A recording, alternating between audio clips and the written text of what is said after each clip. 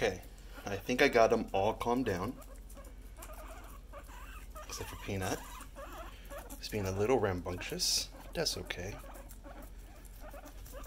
Happy Father's Day, Suba. You got the whole piggy family. Peanut, you got your lettuce right here. Come here, Mama. Eat your lettuce.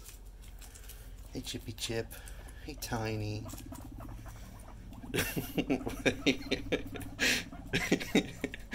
Tiny's gonna go tell Peanut off for bothering her mom.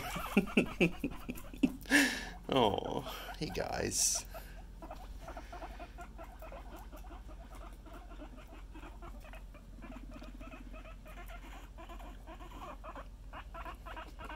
I miss Suba.